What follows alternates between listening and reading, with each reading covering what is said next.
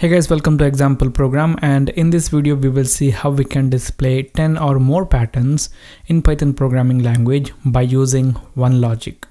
So here we will start with the logic for this right angle triangle star pattern.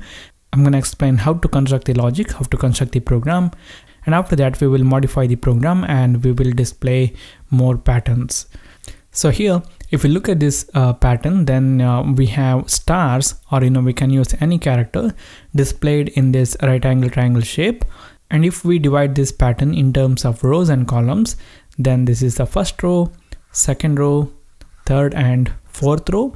And in terms of columns then we can say first column second column third column and fourth column. Now if we look at this pattern then the number of stars or number of columns that we have to print for a particular row is equal to row number. That is, if we look at the row 2, then this row number is 2 and the number of stars or the number of columns which contain a character is equal to 2. So we can say that the number of columns that we have to display for a particular row is equal to row number. If we look at this row 4, then row number is 4 and we have 4 columns. So we will be using this logic and we will construct the program to display the pattern. And once we write the program to display this pattern, we will modify it and we will display 10 or more than 10 patterns. So here I'm going to ask the user to enter for how many rows um, he wants this pattern. So I'm going to use the input function in here and I'm going to specify the prompt as enter the number of rows and this input function returns the um, user input in string form so we will convert that to integer form by wrapping it around this int function and we will store that in a variable and let's call it as num rows or number of rows. Okay. Now we know for how many rows we have to display this pattern. So we will start displaying this pattern. So as i explained before we will print this pattern in terms of rows and columns. So we will use a couple of for loops. So we will use a first for loop and this for loop will provide us each rows of the pattern. So i'm going to call the variable as row in here and this for loop will run for a range of values and the range will start from 1 and then it will end up to number of rows. So if the user wants um, the pattern for 5 rows, then this for loop will run from 1 to 5 and it will display 5 rows. So here I'm going to write num num rows plus 1. That's because with this range function, the end value that we write in here is exclusive. It will not be included. So if you write only num rows in here, then this for loop will run from 1 to whatever the value that num rows contains minus 1. So we will add this plus 1 in here so that the for loop will run for whatever the rows the user wants. Now here inside this for loop, if I print out the row number, if I print out the value of this row variable, then it will provide us the row number. So this row variable will get the row number and I'm gonna save this program and I'm gonna run this code. I'm gonna say five rows and you guys can see here we have five rows. Now for each rows, we need to display the columns. So the columns that we display for a particular row is different. So we will use a for loop in here and this time this for loop is for columns. And I'm going to call the variable as column. And and this for loop will also run for a range of values. And the range will start from 1 and how long this uh, for loop has to run? That value will be row plus 1 here this row variable contains the row number and by looking at the drawing before we know that the number of columns that we have to display for a particular row is equal to row number. So this for loop which we have for the columns will run up to row number of times for a particular row. Now here plus 1 is of course because the end value of this range is exclusive. Okay? Now after that here what we can do is we can display whatever the character that we want to display for a column. So I'm going to use a print function in here and we will display star. And after printing the star what we want to do what we want this print function to do we want this print function to add a space so that the pattern can look nice. So I'm going to use the end value as space in here if we don't specify the end value, then the default end value is a new line. So every star will appear in a separate line. Now after displaying the columns for a particular row, what we have to do is to print the next row, we have to go to the next line. So that's why we will use the print function in here after this in a for loop. So for every row, we will display whatever the columns that we have to display and then we will go to the next line. Here I'm using this print function and I'm not specifying any character to display and that's why it will just add a new line. Now if I save this program and if I run this code and if I enter the number of rows as 5 then you guys can see we have this pattern the right angle triangle star pattern displayed in here. Now what we can do is we can start modifying this uh, program and we can display uh, many different patterns. So now what I'm gonna do is I'm gonna uh, make this code that I have written as a multi-line string value and I will not assign it to any variable. So it will act as a comment and it and this code will not be uh, executed. So the output of this uh, code that we have written in here will not appear. So it will treat it as a string value and since it is not assigned to any variable, it will not be used for anything. So here, I'm gonna copy this code and I'm gonna paste it in here. And now let us see how we can reverse this pattern. So in our pattern, uh, we have seen that in the first row we had one column printed in the second row we had two columns printed and similarly that pattern continued. So in order to reverse that pattern we just have to change this um, for loop which is uh, containing the row number. So what we do here is we will make this for loop. Start from the number of rows. So previously it was starting from 1 and now it will start from num rows value. And then this for loop will run until it contains a value um, greater than 0 so here I have written 0 that's because uh, 0 is exclusive so it will run up to 1 and in this case what we want to do here is we want to decrement the value uh, with each iteration. So we will specify this step as minus 1 now if I save this program and run this code and this time I'm going to enter 5 rows now you guys can see we have this pattern in reverse order. So now what we can do is we can combine these two codes. So we can combine the upper half and the lower half of this pattern and we can make it look like a single pattern. So what I'm gonna do is I'm gonna remove this um, triple quotes which will make uh, which was used for uh, you know ignoring the code. And uh, now this code will run and it will uh, work now if I save this program and run this code, and this time I'm gonna enter the number of rows as 5 and now you guys can see we have this pattern. But if we look at this pattern, we have one problem and that is in the middle, we have two rows containing exactly same number of columns or two rows containing the same number of uh, um, stars printed. So here for this pattern to become um, clean, we should have only one row which will contain the maximum number of columns. So here in our program what we can do is we can make this um, lower half the pattern start from number of rows minus 1. So now if I save this program and run this code and if I enter the number of uh, rows as 5 now you guys can see we have this pattern in a um, proper way. We have only one row which is containing maximum number of columns and then the number of columns for every row is decrementing in here. So now already we have seen uh, more than three patterns. Now let's take a look at the next pattern that we can print in here. So now for the time being, I'm gonna ignore the lower half of this pattern. So I'm gonna make it uh, multi-line string value and I'm not gonna assign it to any um, variable. So it will act as a comment in here. Now here, instead of displaying this star, we can display any uh, numbers. For example, we can display the row number in here. So I'm going to display the row number in here.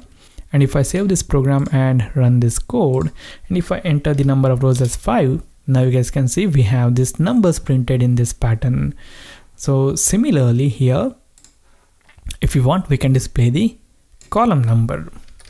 And if I save this program, run this code, if I enter the number of rows as 5, now you guys can see we have the column number printed in this pattern. And similarly, you know, if you want, we can activate the lower half of this uh, pattern also. So I'm gonna remove this um, multi-line string value quotes and uh, I'm gonna copy this print statement. I'm gonna paste it in here.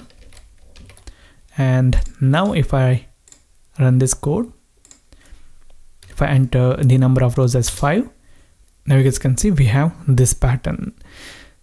Now again I'm gonna eliminate this uh, lower half of the code by making it as a multi-line uh, string value. And here now we have we are displaying only row value or the column value. Now if we want we can display row and column value together. So for that purpose what i'm to do is i'm to construct a string value that I want to display in here. So here we will use a couple of placeholders. Placeholder 0, placeholder 1, and then we will use the format function and here we will provide the values for these placeholders. For example, we can provide the column value and row value.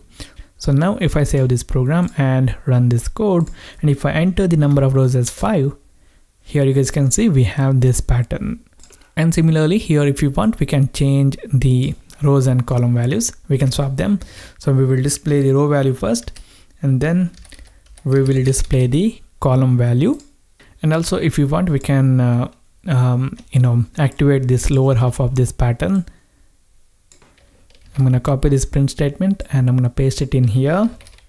And if I save this program and run this code now, and if I enter the number of rows as 5, here you guys can see we have this pattern displayed. Now I'm gonna make this as a multi-line string value again. And let's take a look at the next pattern that we can display. So here till now we are displaying the numbers and we are displaying star or any other character. Now what if we want to display the alphabetical characters so here with alphabetical characters in uh, Python programming, we use the ASCII values. For example, if you know the ASCII value for a character, then you can display that character. So here, what I'm going to do is I'm going to declare a variable and I'm going to call it as ch and I'm going to initialize this with a value of 65. 65 is the ASCII value of the alphabetical character capital A. By using this ASCII value, and by using the chr function we can display the character associated with the ASCII value. So here I'm gonna use only one placeholder. And here uh, we will provide the value of the ch variable but we don't want to display the number. We want the alphabetical character. So we will use the chr function and pass the ASCII value stored in this ch variable. Now if I save this program and run the code if I enter the number of rows as 5, you guys can see we have the alphabetical character A displayed in uh, 5 different rows. But here we are displaying the one character in all the uh, rows. What if we want to change the character? For example, what we can do is we can make the the column of a particular row start with the capital A, then we will make it continue to capital B, capital C like that. So here what we do is we will write ch plus column. Okay, we are not altering the value of this ch variable. We are just using it in this calculation. So we will add the uh, value present in this column variable to the values present in this ch variable. Now if I save this program and run this code and if I enter the number of rows as 5 then you guys can see we have this pattern but here it is starting from B not A. And that's because we have initialized ch with a value of 65 and here we are adding ch variables value with the column variables value. And this column variables value is actually starting from 1 so when this chr functions to display it for the first time it is actually 66 which is the ASCII value of the character capital B. So what we can do is we can store 64 in here. And now if I save this program and run the code if I enter the number of rows as 5 now you guys can see we have this pattern where the character is starting from A. And uh, if you want we can uh, activate the lower half of this pattern. I'm gonna remove that multi-line uh, string. And I'm gonna copy and paste this print statement in here and if I save this program and run this code enter the number of rows. I'm gonna enter 5 now you guys can see we have this pattern. Now here um, if you want we can uh, add the row number instead of the column number to the ch variable. So i'm going to change uh, the column to row in both these cases. And if i save the program and run the code if i enter the number of rows as 5 you guys can see we have this pattern. Now here what if I want to display the characters in continue order? So for that what I can do is I can change this code in here. And here in this every row I will write ch equal to ch plus 1 so with every iteration of the for loop I am incrementing the uh, ch variables value I'm incrementing the ASCII value so that it can uh, display the next alphabetical character. Now if I copy these to code and if I paste them in here and here for this chr function we need to provide what we want to display. The ASCII value is present in this ch variable and I'm gonna specify that in here. Now if I save this program and run the code enter the number of rows I'm gonna say 5 now you guys can see we have this pattern where the alphabetical characters are in uh, uh, ascending order. Okay now let's take a look at the one last pattern for this tutorial. So i'm going to comment out the code that i have written in here. Um, or you know i'm going to make it as the multi-line uh, string value. And here uh, what if we want to display the numbers in continue order? So similar to this logic i'm going to change the variable name as sum. I'm going to store the value 0 in here. And here we will write sum equal to sum plus 1 and instead of using the chr we will just display the value of the sum variable. So now if i save this program and run this code if i enter the number of rows as 5 you guys can see we have this pattern displayed but this pattern doesn't look like a right, a right angle triangle pattern because for the numbers from 1 to 9 they can be displayed in one character space. But after this 10 we need two character space to display the numbers. So we can modify our program and that is here we can make it to display the characters or the numbers in two character space. So I'm gonna use 2d here. And if I save the program and if I run it if I enter the number of rows as 5 now you guys can see these characters are displayed in two character space. And whenever two character space are not needed zero is included. If you don't want the zero in here just remove the zero here. And if I run the code number of rows as 5 now you guys can see we have this pattern but um, again here a two character space is uh, used for every character but whenever uh, they are uh, not needed uh, a blank space is used. So this is it guys. This is how you guys can uh, have one logic and you can modify to display more than 10 patterns. And this is it for this video. Thank you for watching. If you like this video hit the like button. If you don't like it hit the dislike button. If you want to say something then write that in the comment box. For more tutorials like this do subscribe to the channel. Thank you for watching. I'll see you later in the next video